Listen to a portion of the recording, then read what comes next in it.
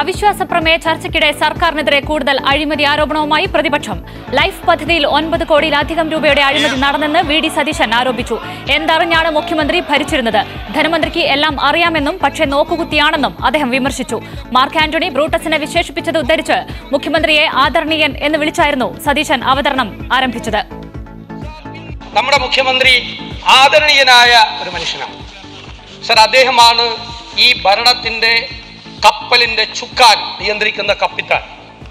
പക്ഷേ ദൗർഭാഗ്യവശാൽ അദ്ദേഹം നിയന്ത്രിക്കുന്ന ഈ കപ്പൽ ചുഴിയിലും മലരിയിലും കാറ്റിലും പെട്ട് നടുക്കടലിൽ ആടി ഉലയുകയാണ്.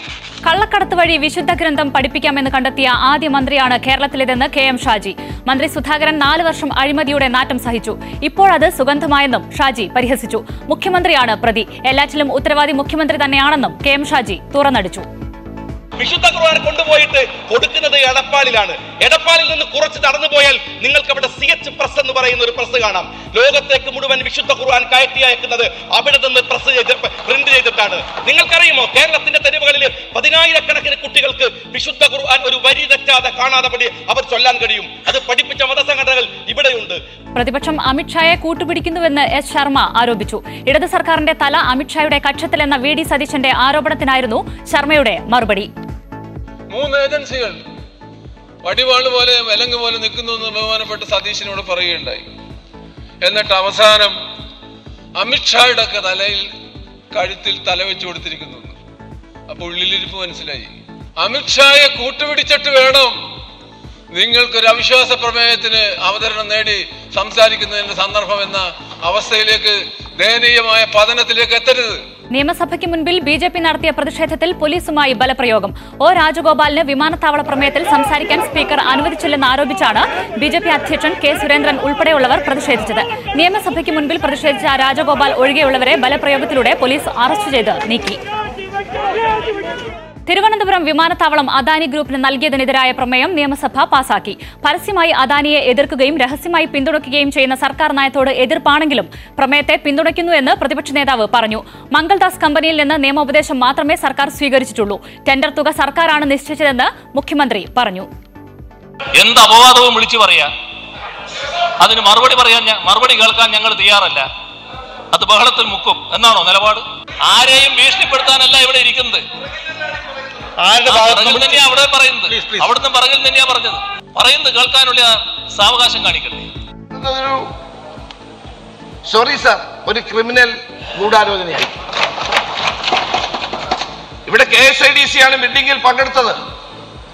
ബിഡ് ഫൈനലൈസ് ചെയ്യാൻ ചീഫ് സെക്രട്ടറി അധ്യക്ഷനായ ഒരു സമിതിയെ സർക്കാർ ചുമതലപ്പെടുത്തുന്നു. ഈ കമ്മിറ്റി ഒരു ടെൻഡർ നടപടിയുമില്ലാതെ അദാനി ഗ്രൂപ്പ് ഉടമ ഗൗതം അദാനിയുടെ മരുമകളായ പരിധി അദാനി പാർട്ണറായ സിവിൽ സിറിൽ അമർചന്ദ് മംഗളദാസ് എന്ന ലോ ഫേമിന് കൺസൾട്ടൻസ് കൊടുക്കുന്നു. സ്പീക്കർക്കെതിരായ പ്രമേയം നിയമസഭയിൽ അവതരിപ്പിക്കാൻ പ്രതിപക്ഷത്തിന് കഴിഞ്ഞില്ല. പതിനാല് ദിവസം മുൻപ് നോട്ടീസ് നൽകണമെന്ന സാങ്കേതികത്വം പറഞ്ഞാണ് പ്രമേയം അനുവദിക്കാത്തത്. പ്രതിപക്ഷം അവിശ്വാസം രേഖപ്പെടുത്തിയ സാഹചര്യത്തിൽ കസേരയിൽ ഇരിക്കാൻ അവകാശമില്ലെന്ന വാദം പ്രതിപക്ഷം ഉയർത്തിയെങ്കിലും സ്പീക്കർ കുലുങ്ങിയില്ല.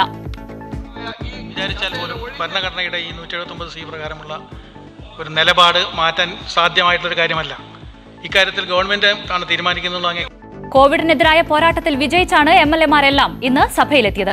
എന്നാൽ പി എക്ക് പോസിറ്റീവായതോടെ Perumbavoor M L A Eldhose Kunnappilly ക്വാറന്റീനിലായി. രണ്ട് നിയമസഭാ ജീവനക്കാർക്കും കോവിഡ് സ്ഥിരീകരിച്ചു. എല്ലാവരും കോവിഡ് പ്രോട്ടോകോൾ കൃത്യമായി പാലിച്ചാണ് നിയമസഭയിലെത്തിയത്. കേരള കോൺഗ്രസ് ജോസ് പക്ഷം നിയമസഭയിൽ നിന്ന് വിട്ടുനിന്നു. അവിശ്വാസ പ്രമേയ ചർച്ചയിൽ പങ്കെടുക്കണമെന്ന യു ഡി എഫ് വിപ്പ് ലംഘിച്ചതിന്റെ പേരിൽ ജോസ് പക്ഷ എം എൽ എമാർക്കെതിരെ സ്പീക്കർക്ക് ഉടൻ നടപടിയെടുക്കാനും ആകില്ല. ജോസ് പക്ഷത്തെ മുന്നണിയിൽ പുറത്താക്കുന്ന കാര്യം ഉടൻ തീരുമാനിക്കുമെന്ന് യു ഡി എഫ് വ്യക്തമാക്കി. നേതാക്കൾ കത്തെഴുതിയതിൽ കോൺഗ്രസ് പ്രവർത്തക സമിതിയിൽ വിമർശനം. രാഹുൽ ഗാന്ധിയും എ കെ ആന്റണിയും കത്തിനെതിരെ രംഗത്ത് വന്നു. രാഹുൽ അധ്യക്ഷനാകണമെന്ന് അശോക് ഗെലോട്ടും ഭൂപേഷ് ബാഗലും ആവശ്യപ്പെട്ടു. ഇതിനിടെ രാഹുലിനെതിരെ പരസ്യ വിമർശനവുമായി കപിൽ സിബലും രംഗത്തെത്തി. ലഡാക്കിൽ ചൈന പിന്നോട്ട് പോയില്ലെങ്കിൽ സൈനിക നടപടിക്ക് മടിക്കില്ലെന്ന് സംയുക്ത സേനാ മേധാവി ജനറൽ ബിപിൻ റാവത്ത്. അതിർത്തിയിലെ പഴയ സാഹചര്യം പുനഃസ്ഥാപിക്കാനുള്ള സൈനിക നടപടിക്കുള്ള പദ്ധതി തയ്യാറാണ്. എന്നാൽ സമാധാനപരമായി പ്രശ്നം പരിഹരിക്കാനാണ് ഇന്ത്യ ആഗ്രഹിക്കുന്നതെന്നും ജനറൽ ബിപിൻ റാവത്ത് പറഞ്ഞു. കാരക്കോണം മെഡിക്കൽ കോഴക്കേസിൽ അന്വേഷണ സംഘത്തിന് വീണ്ടും ഹൈക്കോടതി വിമർശനം. ബിഷപ്പ് ധർമ്മരാജ് റസാലം അടക്കമുള്ള പ്രതികളെ അറസ്റ്റ് ചെയ്യാത്തത് എന്തുകൊണ്ടാണെന്ന് ഹൈക്കോടതി ചോദിച്ചു. ഇവരെ അറസ്റ്റ് ചെയ്യാൻ ഭയമാണോ എന്നും കോടതി. പ്രതികളെ ചോദ്യം ചെയ്ത് വിട്ടയച്ചതായി സർക്കാർ ഹൈക്കോടതിയെ അറിയിച്ചു. ന്യൂസ് പൂർത്തിയാകുന്നു